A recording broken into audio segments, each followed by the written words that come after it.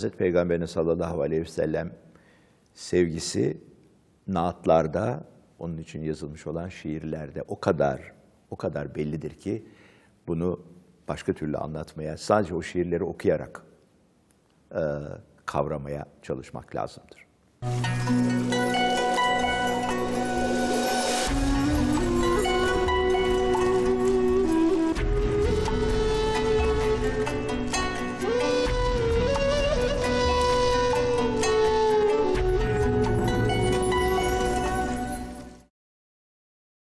Merhabalar. Hilmi Yavuz'la İslam'ın Zihin Tarihi programına hoş geldiniz. Hocam hoş geldiniz programımıza. bulduk Ercan. Nasılsınız? Teşekkür ederim, hamdolsun sen. Allah'a şükür bizler de iyiyiz hocam. Sağlığınıza duacıyız. Ee, Hazreti Peygamberi, e, Fahri Kainat Efendimiz Hazreti Peygamberi konuşmaya devam ediyoruz hocam. Bitmez de zaten. Ee, ilk iki programda Hazreti Peygamber'in kişiliği üzerine ve ondan sonra da devlet adamlığı üzerine daha ziyade konuşmuştuk hocam. Doğru. Ee, Hazreti Peygamber muhabbeti üzerine konuşalım istiyorum ee, bu programda da. Hazreti Peygamber üzerine yazılmış şiirler malumunuz. Bir şiir medeniyeti, medeniyetimiz. Herhalde şiir medeniyeti desek yanılmış olmayız değil mi hocam? Asla. Dolayısıyla en iyi şekilde şiirle Hazreti Peygamber sevgisi ifade edilmiştir diye düşünüyorum ben. Bizim edebiyatımız, bizim tarihimiz bunun örnekleriyle dolu. Dolayısıyla sizden de birkaç şiir okumanızı bu hususta isteyeceğim hocam. Ben de birkaç şiir okuyacağım, okumaya çalışacağım ve üzerine konuşacağız inşallah hocam. Güzel. Hocam e, Hazreti Peygamber'e olan muhabbet herhalde şiirle dile getiriliyor ise ki getirilmiş daha evvelden yani Süleyman Çelebilerden Şeyh Galiplere ve günümüze kadar uzanan bir çizgi bu meyanda söz konusu. Dolayısıyla Hazreti Peygamberle şiir arasındaki ilişki üzerinden söylemek istersiniz hocam. Şimdi e, Kaside-i Bürü'de de var tabii bildiğiniz gibi. Tabii bu konuda e, bizim referansımız herhalde Kur'an-ı Kerim olacaktır. Kur'an-ı Kerim'de e, Hazreti Peygamber'den söz edilirken Cenab-ı Allah diyor ki biz ona şiir öğretmedik diyor. E, şiir öğretmediği, e, şiir öğretmedik derken neyi kastettiğinden herhalde şunu anlamak mümkün. Yani e, biz ona e, bir beyan ve tafsil görevi verdik. Yani bir takım şeyleri açıklamak, anlatmak, eee, yorumlamak görevini verdik. Halbuki şiir böyle bir şey değil. Şiir daha çok mecazlar, hakikatin mecazla örtülü olması vesaire falan. Yani eee, şiir bir icmaldir. Biraz da burada İbn Arabi'den yola çıkarak böyle bir ayrım yapıyorum. Şiir icmaldir. Bir takım şeyleri sembollerle, mecazlarla vesairelerle, hakikati daha doğrusu örter. Halbuki peygamberin görevi bir şey örtmek değil, tam tersine verili olanı açıklamak, anlatmak, yorumlamaktır. Yani onun görevi beyan ve tafsildir, şiir değil. O yüzden e, Kur'an-ı Kerim'de biz Hazreti Peygamber'e şiir öğretmedik, kendisine şiir öğretmedik diyor. Bu şiiri olumsuzlayan bir tavır değil ama değil mi? Hayır hayır değil. Zaten daha sonra Hazreti Peygamber de bir hadis-i şerifinde diyor ki e, şiir bazen e, hikmettir, bazen sihirdir diyor. Sihir olan daha daha çok şeytani olandır. Buna karşılık hikmet olan da daha çok Rabbani olandır diyor. Dolayısıyla Rabbani olan e, şeyde tabii yani şu Ara suresinin son şeylerinde 247 248'de zannediyorum. Orada da ifade edildiği üzere yani Allah'ı zikreden şiirler hiç şüphesiz e, hikmetli şiirlerdir. Dolayısıyla Rabbani şiirlerdir. Ama tabii eğer bir şey söz konusuysa, İslami bağlamda düşünmek söz konusuysa e, sihir ya da şeytani olan şiirlerin anlaşıldığı kadarıyla Hazreti Peygamber tarafından çok onaylanmadığı görülüyor. Yani kimilerinde hikmet, kimilerinde sihir vardır buyuruyor ya. Evet. E, Onun dışında kalanlar tabii sihir ya da şeytani olanlardır ki şeytani olanları ne Kur'an-ı Kerim'in ne de Hazreti Peygamber'in bu hadis-i şerifinde işaret edildiği üzere tasvip etmesi, onaylaması mümkün değil. Evet, zaten e, Kaside-i Bürde ismini taşıyan şiir Ka'b bin Züheyr'in Kaside-i Bürdesi, Züheyr'e e, hırkasını hediye etmesi. Zaten adı da oradan geliyor, oradan değil mi? geliyor, Evet. Bürde hırka demek Arapça. Şiire ne kadar önem verdiğini gösteren bir husus tabii orada. Hocam e, aslında birkaç şiir okuyacağız ama isterseniz Şeyden ben mi, naatlardan mı başlayacaksın? naatlardan başlayalım isterseniz. Ben e, günümüzden geriye doğru gidelim istiyorum. biraz. Naatı da e, söylemekte yarar var. Evet. Naatın yani Hazreti Peygamber için, e, Efendimiz için yazılmış olan şiirler naat diye bilinir. Ve divan edebiyatında hemen hemen bütün şairlerin naatı. Naatları vardır, Çünkü evet. divanda Tabii, olmazsa olmaz. Olmazsa olmazdır, tabii, doğrudur. Münacatlardan Naat ve sonra münacatlar, geliyor.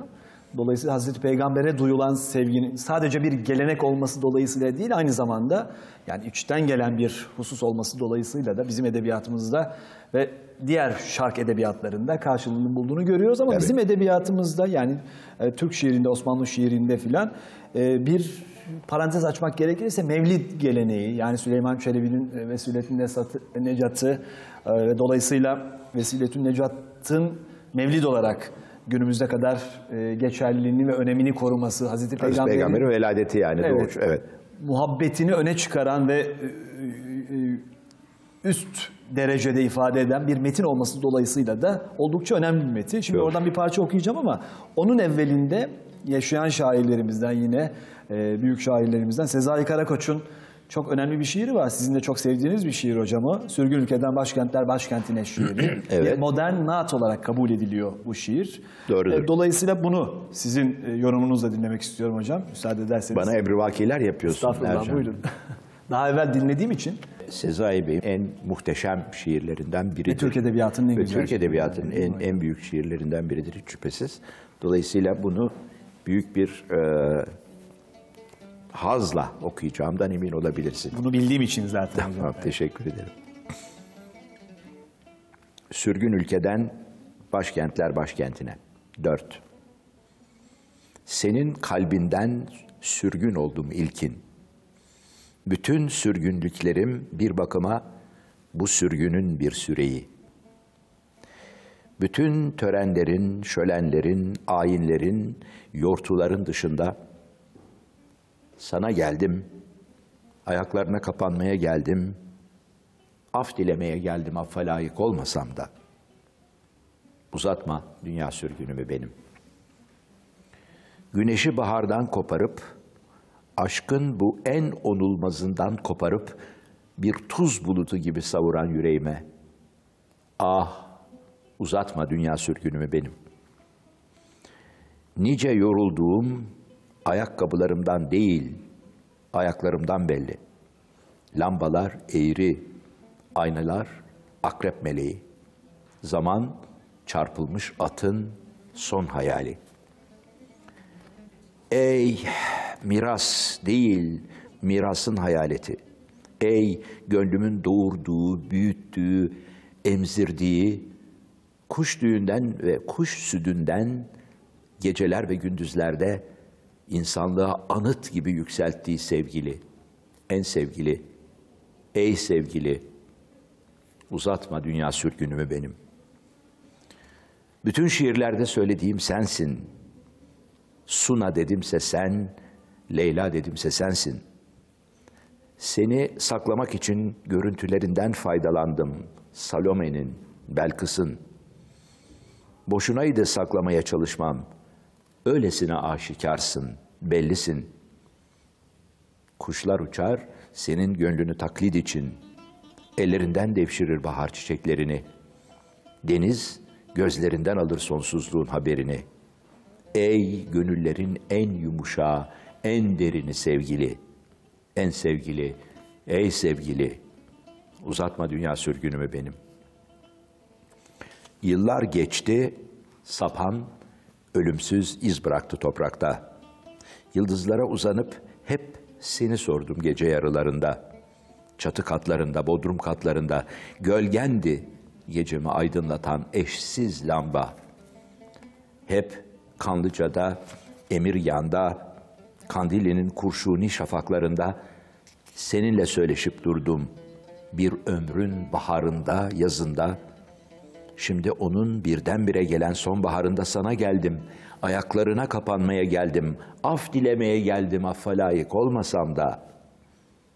Ey çağdaş Kudüs, Meryem, ey sırrını gönlünde taşıyan Mısır, Züleyha, Ey ipeklere yumuşaklığı bağışlayan merhametin eli, sevgili, en sevgili, ey sevgili, uzatma dünya sürgünümü benim. Dağların yıkılışını gördüm bir Venüs bardağında. Köle gibi satıldım pazarlar pazarında. Güneşin sarardığını gördüm Konstantin duvarında. Senin hayalinle yandım düşlerin civarında. Gölgendi yansıyıp duran Bengisu pınarında. Ölüm düşüncesinin beni sardığı şu anda verilmemiş hesapların korkusuyla sana geldim. Ayaklarına kapanmaya geldim, af dilemeye geldim. Afa layık olmasam da sevgili, en sevgili, ey sevgili, uzatma dünya sürgünümü benim. Ülkendeki kuşlardan ne haber vardır? Mezarlardan bile yükselen bir bahar vardır. Aşk celladından ne çıkar? Madem ki yar vardır, yoktan da vardan da öte bir var vardır.'' Hep suç bende değil, beni yakıp yıkan bir nazar vardır. O şarkıya özenip söylenecek mısralar vardır. Sakın kader deme, kaderin üstünde bir kader vardır. Ne yapsalar boş göklerden gelen bir karar vardır. Gün batsa ne olur, geceyi onaran bir mimar vardır. Yanmışsam külümden yapılan bir hisar vardır.'' Yenilgi yenilgi büyüyen bir zafer vardır. Sırların sırrına ermek için sende anahtar vardır. Göğsünde sürgününü geri çağıran bir damar vardır. Senden umut kesmem. Kalbinde merhamet adlı bir çınar vardır. Sevgili, en sevgili, ey sevgili. Hocam ağzınıza sağlık. Çok teşekkürler. Gerçekten haz alarak okuduğunuz çok belli, çok güzel bir şiir ve Hazreti Peygamber'e sevginin de, muhabbetin de İnkar kabul etmez ihtişamda bir şiir bu yani bunun tartışması yok. harika. Göğsünde merhamet adlı bir çınar. Çınar vardı. Merhamet kavramının öne çıkması. İlk dize de çok etkileyicidir hocam. Tabii. Senin kalbinden sürgün oldum ilkin. Aslında bugünkü halimizi anlatan en önemli e, hususlardan bir tanesi. Onun kalbinden sürgün olmuş olmak ve bütün sürgünlüklerimiz de o sürgünün bir süreyi, Süreyi. gerçekten. Ondan uzaklaşmış olmanın getirmiş olduğu. Hocam e, üstada, e, büyük şairimize buradan e, hürmetlerimizi gönderiyoruz. Sevgilerimizi gönderiyoruz. Evet, ellerinden öpüyoruz. Eski arkadaşımızdır kendisi. Hocam e, Süleyman İnşallah Çelebi- onun kalbinden sürgün olmamışızdır. İnşallah hocam. Ee, Süleyman Çelebi'nin Mevlidinden bir parça okuyacağım. Ben bir Merhaba faslını, çok sevdiğim o faslı okuyacağım. Ama onun öncesinde e, sizin Mevlid okunurkenki e, durumlarınıza ilişkin, çocukluğunuza dair bir takım hatıralar var hocam. Yani e, siz tabii hem eski edebiyat e, tan eski şiirden, divan şiirinden bir takım babanızın bir takım şairlerden şiirler okuduğunu okuyarak büyüdünüz veya ondan şiirler dinleyerek, Dinleyerek. büyüdünüz hocam. E, dolayısıyla sizin biraz da divan edebiyatına karşı sevginiz oradan geliyor ve bunlar arasında mevlidler de vardı hiç Tabii şüphesiz. hiç şüphesiz. O döneme ait yani çocukluğunuza dair e, mevlide ilişkin bir takım hatıralar vardır herhalde hocam. Ceviz sandığınızdan, bellerinizin ceviz, ceviz sandığından çıkarıp bizlerle paylaşmak ister misiniz? Şimdi ben şunu söylemek istiyorum. Aslında hep söylemişimdir. Yani benim çocukluğumda dinin en e, ruhaniyetli ve en saf biçimiyle yaşandığı bir e, dönemin tanıklığında geçti öyle söyleyeyim. E, hep söylemişimdir zaten. Babam da annem de son derece e, mümin insanlardı, mutekit insanlardı, itikadı olan insanlardı. Ve e, İslam'ın bütün farzları, bütün ritüelleri her zaman bizim evimizde eksiksiz hatta zaman zaman fazlasıyla yerine getirilmiştir. Ve tabii özel alanda. Ee, babamın özellikle Hazreti Peygamber'in e, e, şeyi dolayısıyla, veladeti dolayısıyla malum e, her sene e, evde mevlid okumak gibi bir adeti vardı. Babamın Rutin bir şekilde değil mi her sene? Evet, evet, tabii. tabii. Babamın sesi de çok güzeldi. Allah rahmet eylesin. Ve çok güzel okurdu. Yani hem Kur'an-ı Kerim'i yüksek sesle okurken, hem Mevlid'i okurken, e, hem şiir okurken o sesin e, cazibesine kapılmamak, o sesin büyüsüne deyiş yerindeyse kapılmamak mümkün değildi. Hocam müsaade ederseniz e, Süleyman Çelebi'den, e, Mevlid'den o merhaba faslını size o çok etkileyen Lütfen. faslı e, okumak istiyorum. Yaratılmış cümle oldu şadman, gam gidip alem yeniden buldu can. Cümle zerratı cihan idüp nida, çağrışıvan dediler kim merhaba. Merhaba ey Ali Sultan merhaba. Merhaba ey Kanı İrfan merhaba. Merhaba, merhaba ey sırrı fürkan merhaba. Merhaba ey derde derman merhaba. Merhaba ey bülbül bağı cemal. Merhaba ey aşina yüzül celal. Merhaba ey mahı hurşidi hüda.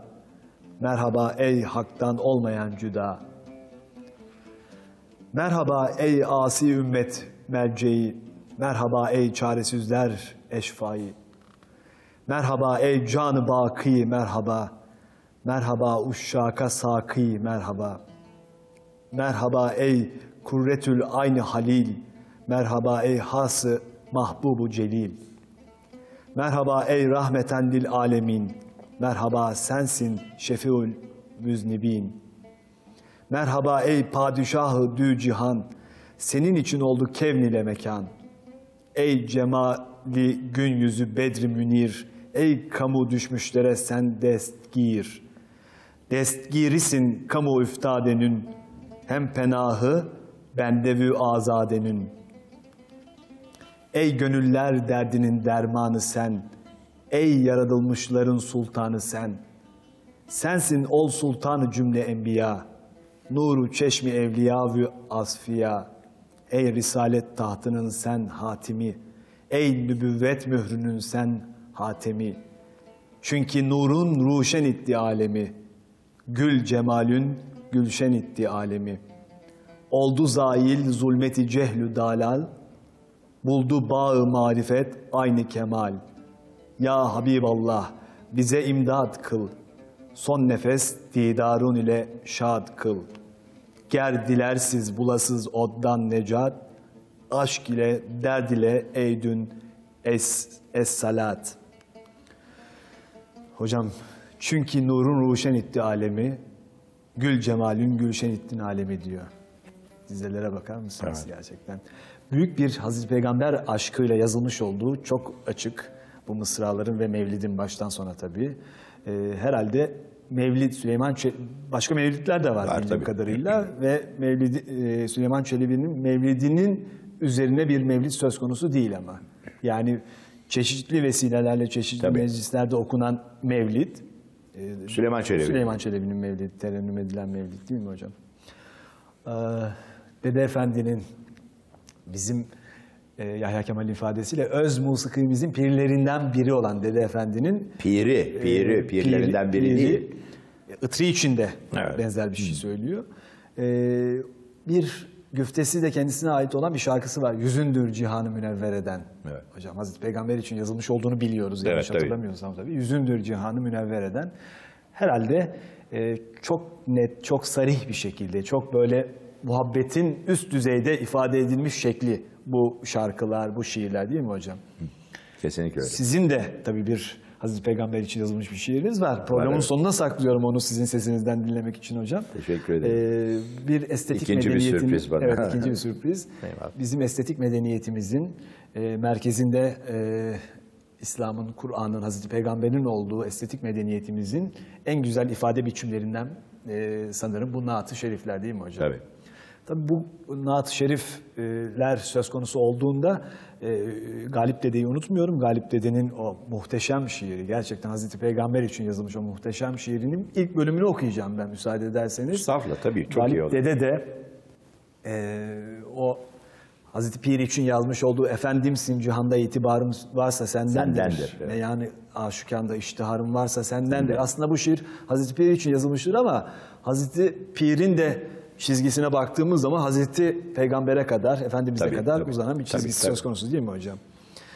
Ee, evet, bu Naat-ı Şerif'in ilk bölümünü okuyayım. Oldukça ağır bir Naat-ı Şerif. Dolayısıyla e, seyircilerimizi Bu arada Hazreti Bir dedin. Hazreti Bir'den Hazreti Mevlana'nın kastedildiğini de şüphesiz, evet. belirtmek gerekir. Evet. Sultan-ı Rusul, Şahı Mümeccetsin efendim. Biçarelere devleti sermetsin efendim. Divanı ilahide serametsin efendim. Menşuru le amrüke müeyyetsin efendim. Sen Ahmedü Mahmudu Muhammedsin efendim. Hak'tan bize sultanı müeyyetsin efendim. Böyle başlıyor ve devam ediyor tabii. Hak'tan bize sultanı müeyyetsin efendim. Harika, harika değil mi hocam? Gerçekten. Söylenir şey değil dedikleri cinsten şiirlerden bir tanesi herhalde bu değil Evet, mi? hocam? Ali Tanyeri de rahmet istedi burada. Çavuşoğlu ile birlikte ikisi de böyle divan şiirinden bazı dizeler okuyup e, kendi aramızda konuşurken Çavuşoğlu da rahmetli şeyde e, Ali Tanyeri de Mehmet Ali Tanyeri de öyle derler. Söylenir şey değil diye. Değil. Herhalde e, naatlar söz konusu olduğu zaman Fuzuli'nin su kasidesini de Tabii. sanırım Tabii. e, naatlar içerisinde en yükseklerde bir yere koymamız gerekiyor. Gerçekten büyük bir peygamber aşkıyla, muhabbetiyle yazılmış şiirlerden bir tanesi. Dest busu arzusu ile gel ölürsem dostlar. Kuze eğlen toprağım sunun anınla ya Resul. Evet, doğru. Bu da söylenir şey değil, dedirten cinsten değil mi hocam? Arzın yağdıyla nemnak olsa müjganım nola, zayi olmaz gül temennasıyla vermek haresu. Orada su ve gül imgelerinin çeşitli şekillerde karşımıza çıktığını görüyoruz ki hem su, çünkü kendisi temiz olan ve temizleme kudretine sahip olan iki şey var. Biri su, biri Hazreti Muhammed Mustafa.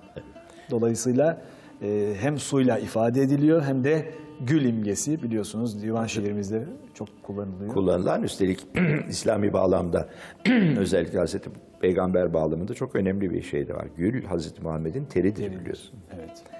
Dolayısıyla böyle bir şey de var, böyle bir istihare de var yani. Özellikle İsla, gülün İslami bir istihare olarak doğrudan doğruya Hazreti Peygamber'in terine atıfta bulunuyor olması. Ve Te- teri gül kokuyor yani. evet Hazreti Peygamber'in gül olarak telakki edilmesinin veya gülle ilişkilendirilmesinin sebeplerinin başında Doğrudur, geliyor. doğrudur. Dolayısıyla.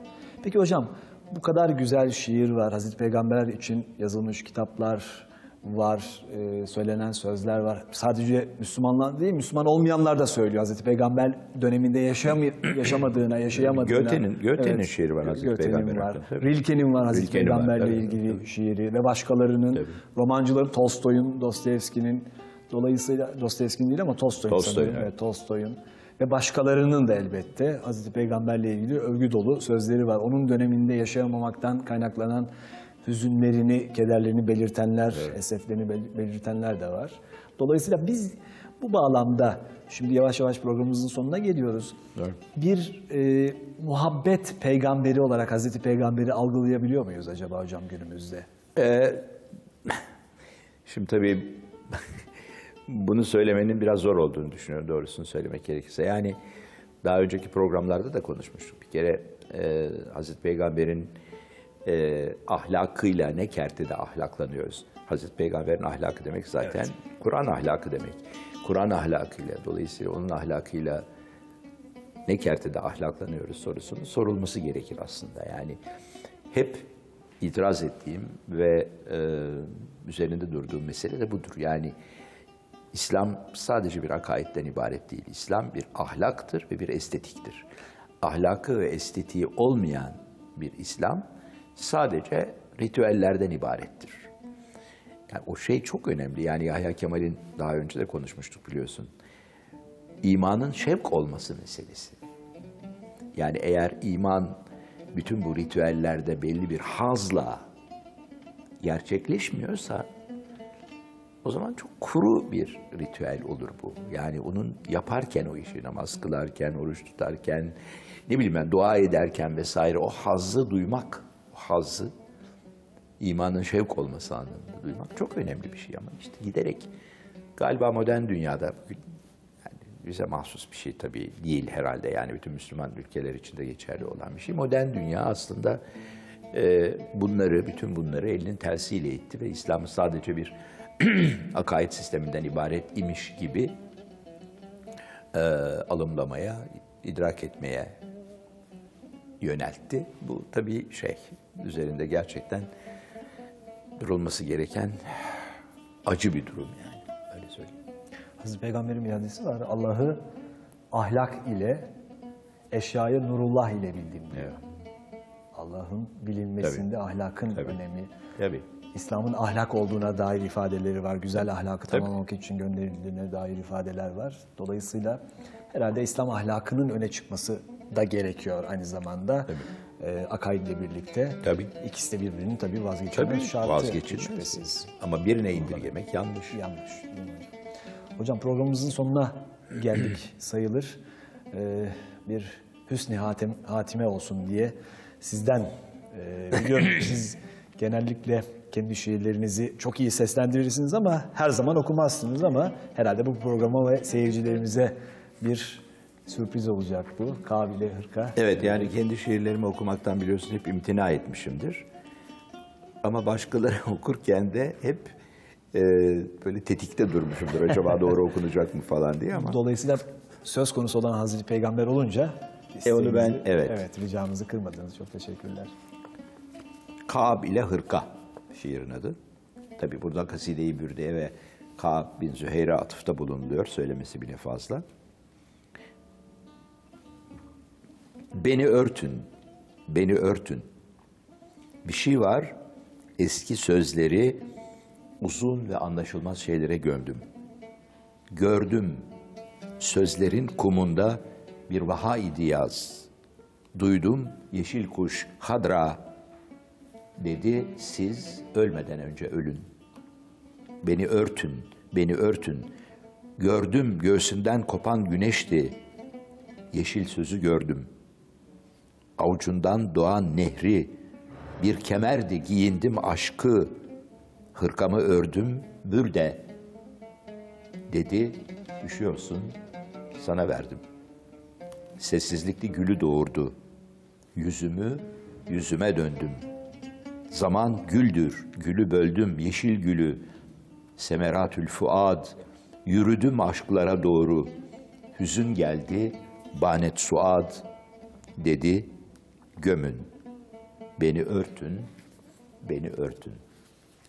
Hocam, Bu beni örtün, beni örtün biliyorsun Hazreti Evet. Peygamber'in vahiy geldiği sırada o hissettiği e, heyecanın, titremenin e, getirdiği ya da üşümenin bir anlamda getirdiği durum beni örtün diyor vahiy geldiğinde Hazreti Peygamber.